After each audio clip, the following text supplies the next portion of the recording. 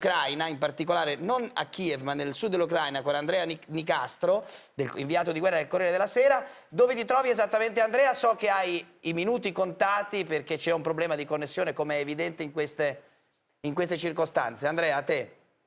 Sono, sono, a Mariupol, sul mare d'Azov, praticamente nell'est della costa meridionale ucraina. Qui è dove i russi si, stanno, si sono sparsi dalla Crimea eh, da una parte e dall'altra perché ormai sono arrivati a 30-40 chilometri dalla città da est e hanno eh, rosicchiato un altro po' di, eh, di spazio da ovest. Ormai eh, oggi ci sono state scene di bombardamento incredibili, fortissime, con gente smembrata eh, in un villaggetto che è a 7 chilometri dal centro della città dove mi trovo io.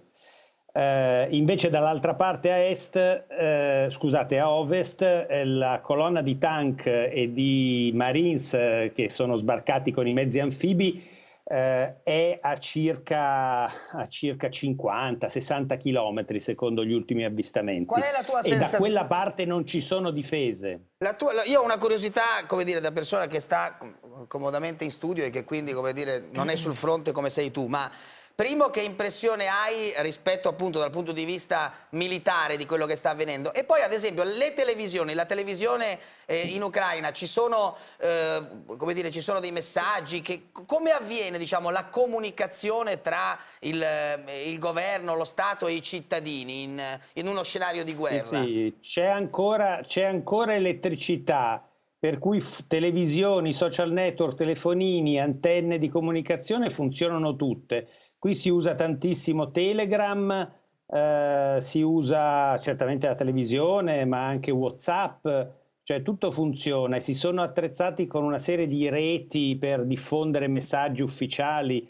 Quindi no, no, i messaggi arrivano, non, non c'è problema. Il problema dal punto di vista militare è che le uniche difese eh, da parte di un esercito organizzato come quello ucraino, che ha le sue le sue truppe, le, i cannoni, eh, le uniche difese sono il cemento delle case. Per Andrea. cui eh, l'esercito si deve ritirare dentro le città per potersi difendere, ma dentro le città ci sono i civili.